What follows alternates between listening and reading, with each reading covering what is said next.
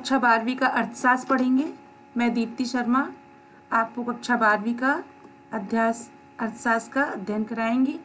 आपने बेटा इससे पहले मांग का नियम, मांग के नियम की परिभाषा, अर्थ, पूर्ति, फिर मांग की लोच, मांग की लोच की परिभाषा, मांग को प्रभावित करने वाले तत्व, इतना सब पढ़ा। अब अपन पढ़ेंगे बेटा अध्याय तीन, उत्पादन तथा लागत। उपभोक्ता के व्यवहार के संबंध में चर्चा की है। इस अध्याय में हम अगले अध्याय, हम उत्पादन के व्यवहार की जाँच करेंगे। एक उत्पादक अथवा एक फर्म विभाग जैसे श्रम मशीन, भूमि, कच्चा माल आदि को प्राप्त करता है। अपन को ये सब चीज़ अपन को उत्पादन के लिए आवश्यक होती हैं। इन गुटों के मेल से निर्मित उत्पादन करता है। मतलब ये सब चीज़ अपन को जब मिलेंगी तो अपन उत्पादन कार्य करेंगे और उत्पादन की प्रक्रिया प्रारंभ होगी, जिसके द्वारा आदत में निर्गित परिवर्तन किया जाता है, उत्पादन अथवा फर्मों द्वारा किया जाता है। मतलब कोई भी उत्पादन कार्य अपन करेंगे, सबसे पहले अपन को एक फर्म का निर्माण करना होगा। उसमें संगठन, आर्थिक व्यवस्था, पूंजी, श्रम, भूमि, इन सब चीज़ों की क्या पड़ेगी बेटा? आवश्यकता पड़ेगी। विभिन्न अवस्थाओं में जैसे मशीन, भूमि, कच्चा माल आदि भी काम करती हैं। लागतों को निर्गित उत्पादन के लिए उपयोग करते हैं। या निर्गित उपभोक्ता द्वारा उपयोग किया जाता है। फिर है उत्पादन लागत। तो अपन किसी भी चीज़ का उत्पादन करेंगे तो सबसे पहले अपन को लागत लागत देनी होगी, है ना? उत्पादन लागत धारण, धारणा कीमत सिद्धांत को समझने के लिए एक आधारभूत सिद्धांत है। अपन जब किसी भी चीज़ का उत्पादन करेंगे तो अपन को सबसे पहले उसकी कीमत निश्चित करनी होगी कि उसके उत्पादन में कितना व्यय मतलब कितनी लागत लगेगी।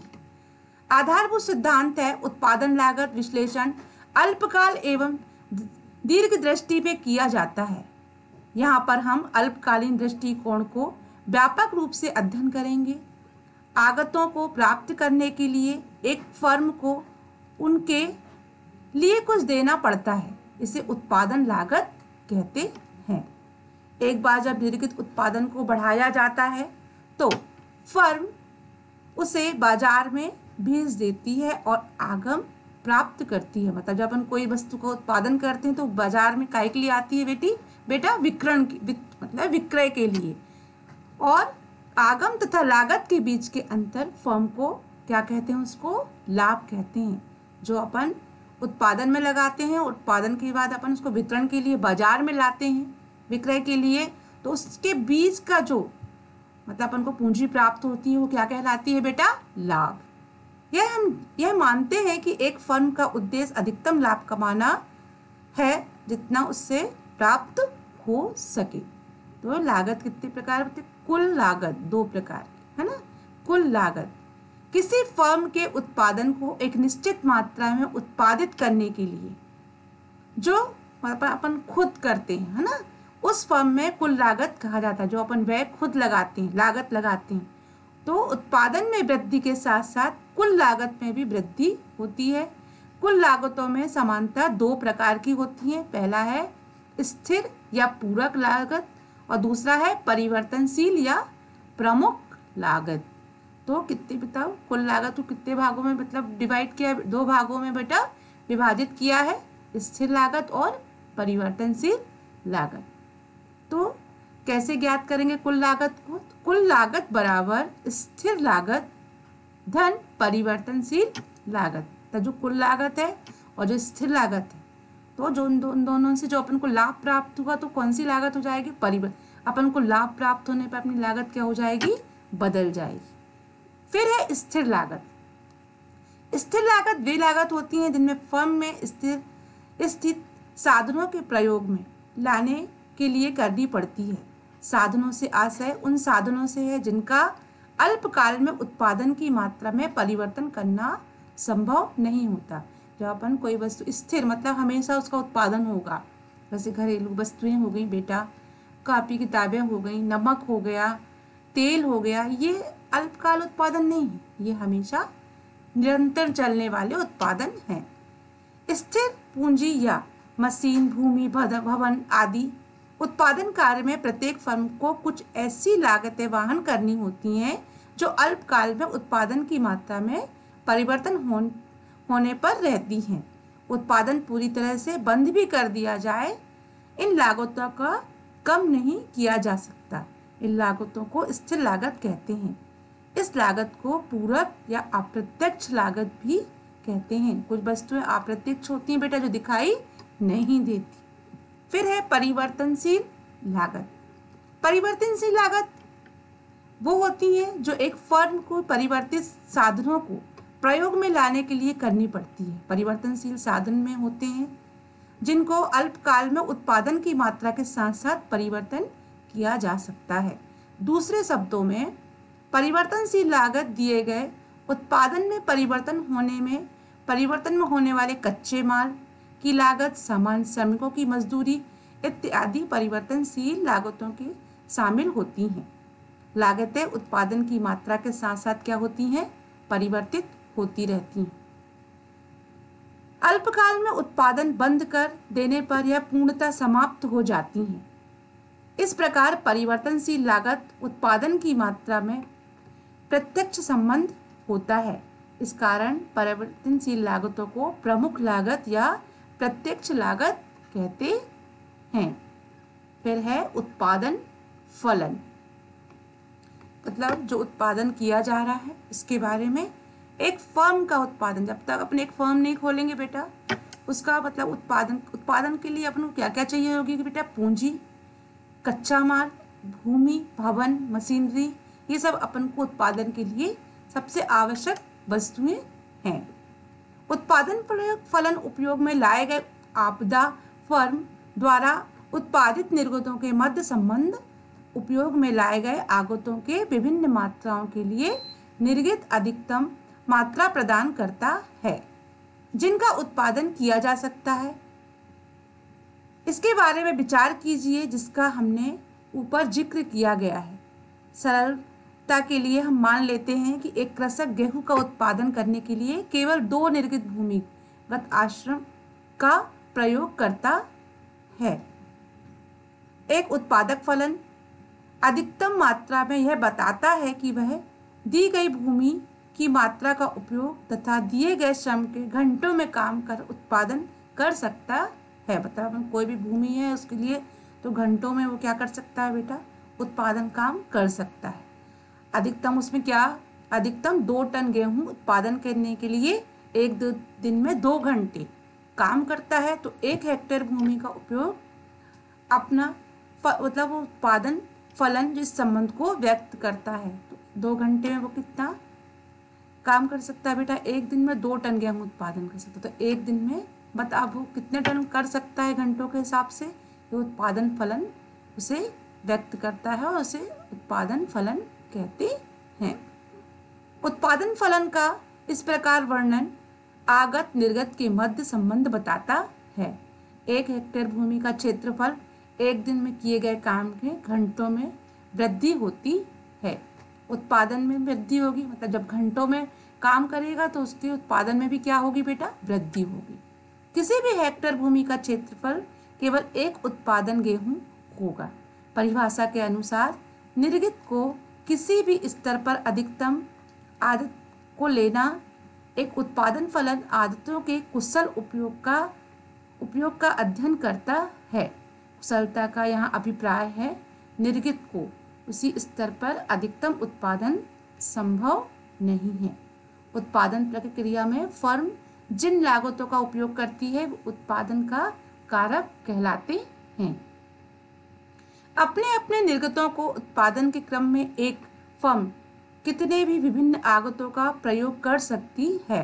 मतलब किसी भी कार्य को करने के लिए, उत्पादन को करने के लिए एक फर्म विभिन्न प्रकार की आगतों का प्रयोग कर सकती है। इस प्रकार एक ऐसी फर्म पर विचार करें तो केवल उत्पादन के दो कार्य, श्रम, पूंजी, हमारा उत्पादन फलन इसलिए अधिकतम उत्पादन की मात्रा को बताता है। जो उत्पादन के कारकों में श्रम, पूंजी के विभिन्न सहयोग के उपयोग को प्राप्त किया जा सकता है। तो उत्पादन के लिए क्या क्या ज़रूरी है बेटा? श्रम, पूंजी और सहयोग।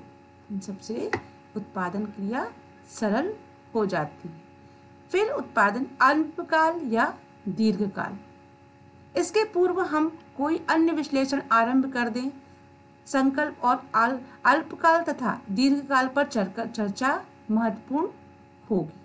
अल्पकाल को कम से कम एक कारक पूंजी में परिवर्तन नहीं करा, किया जा सकता। अतः वह स्थिर रहता है। निर्गित स्तर में परिवर्तन को लाने के लिए फर्म केवल दूसरे कारकों में परिवर्तन कर सकती है, जो कारक, स्थिर कारक कहलाता है। स्थिर कारक में बेटा वही भवन, भूमि, मशीनरी। जबकि दूसरा कारक जिस पर फर्म परिवर्तन कर सकती है, वह परिवर्तित कारक कहलाते हैं। तो कोई भी काम, कोई भी फॉर्म में अगर अपन काम करते हैं तो परिवर्तित कारक मतलब समय के अनुसार उनको अपन परिवर्तित कर सकते हैं। दीर्घ काल में उत्पादन के सभी कारक में परिवर्तन लाया जा सकता है। फर्म निर्गित में विभिन्न स्तरों का उत्पादन करने के लिए दीर्घ काल में कारकों के साथ साथ विभिन्न परिवर्तन ला सकती है। दीर्घ काल में कोई भी स्तर कारक नहीं होते वह स्थिर कारक नहीं है। किसी भी विशेष उत्पादन प्राक्रम में दीर्घकाल का साधारण तथा अल्पकाल की तुलना में एक ही समय अंतराल को प्रकट करता है। विभिन्न उत्पादन उपकरणों के लिए के लिए कल, कला अवधि भिन्न हो सकती है। अल्पकाल तथा दीर्घकाल में दो दिनों, महीनों अथवा वर्षों के रूप में परिभाषित किया, परिभाषित करना उचित नहीं होगा। मतलब जो दीर्घकाल है, उनको बहुत ज़्यादा समय के लिए परिभाषित करना उचित नहीं होगा, क्योंकि कोई भी कार्य दीर्घ काल तक चलते तो हैं, पर समय के साथ साथ उनमें कुछ कुछ थोड़े मोड़े परिवर्तन होते रहते हैं। अल्प अवधि में समानता इस दृष्टि को ध्यान में रखकर परिभाषित कर सकते हैं, और सभी आगत, परिवर्तित अथवा नहीं है। फिर है सीमांत लागत। सीमांत लागत की धारणा का अर्थ शास्त्र में बहुत महत्वपूर्ण स्थान है। वस्तु की एक आंतरिक इकाई का उत्पादन करने से कुल उत्पादन में जो अंतर होता है उसे सीमांत लागत कहते हैं। मतलब कोई वस्तु का उत्पादन करते हैं तो उसमें आंतरिक इकाइयों का उत्पादन करने से कुल लागत मतलब में जो अंतर आता है, अंतर मतलब लाभ। है ना? उसे सीमांत लागत कहते हैं। सीमांत लागत की प्रमुख परिभाषा निम्नलिखित है। सेमिस्टर में दी है बेटा। सीमांत लागत कुछ लागतों में वृद्धि, जो किसी फर्म के उत्पादन में एक आंतरिक इकाई को अधिक उत्पादित करने के लिए प्राप्त होती है। तो सीमांत लागत कैसे प्राप्त की जाती है बेटा? सीमांत लागत बराबर कुल लागत में परिवर्तन बटे उत्पादन की मात्रा में परिवर्तन। तो कुल लागत अपन लगा रहे हैं, अगर उसमें कुछ ज़्यादा लागत लग गई, उसे परिवर्तन लागत और उत्पादन की मात्रा में वृद्धि। तो अपन कुछ ज़्यादा लागत लगाएँगे तो उत्पादन की मात्रा में भी क्या होगी बेटा? वृद्धि होगी। सीमांत लागत में उपयुक्त विश्लेषण को स्पष्ट किया है। सीमांत लागत परिवर्तनशील लागत में परिवर्तन के कारण उत्पन्न होती है। दूसरा, सीमांत लागत स्थिर लागत में पूर्णतः स्वतंत्र होती है। और सीमांत लागत का आकार भी परिवर्तनशील अनुपातों के नियम के कारण यू आकार के समान होता है। चौथा है, सीमांत लागत कुल लागत में परिवर्तन की दर को क्या करती है? बताती है। तो ये सीमांत लागत के उपयुक्त विश्लेषण है। ये चार हैं। इससे स्पष्ट होता है कि सीमांत लागत कैसे परिवर्तनशील है। तो सीमांत लागत और औसत लागत में संबंध। तो सीमांत लागत और औसत लागत में घनिष्ठ संबंध है बेटा। इसकी तालिका दी हुई है, उसमें उत्पादन कार्य है तो उत्पादन की इकाइयाँ दी हुई हैं बेटा।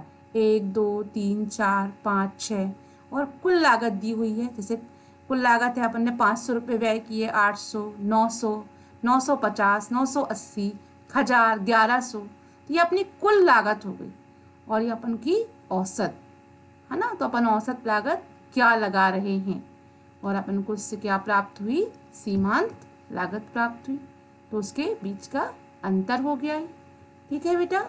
उपयुक्त तालिका से स्पष्ट है कि औसत लागत एवं सीमांत लागत दोनों उत्पादन के कुल लागतों के आधार पर निकाले जाते हैं। अर्थात, औसत लागत बराबर कुल लागत बटे उत्पादन लागत। और सीमांत लागत लागत ज्ञात करने के लिए कुल लागत में परिवर्तन बटे उत्पादन की एक मात्रा के अतिरिक्त इकाई।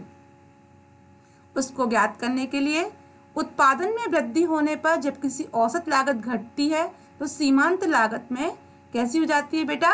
कम हो जाती है।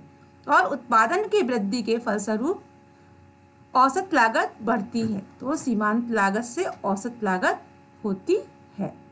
सीमांत लागत औसत लागत की अपेक्षा शीघ्रता से बढ़ना प्रारंभ कर देती है।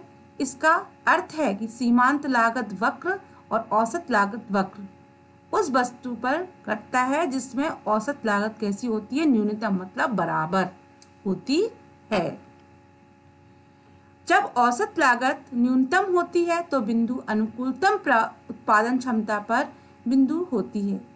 उस बिंदु का उत्पादन न्यूनतम लागत और अधिकतम उत्पादन को प्राप्त कर सकता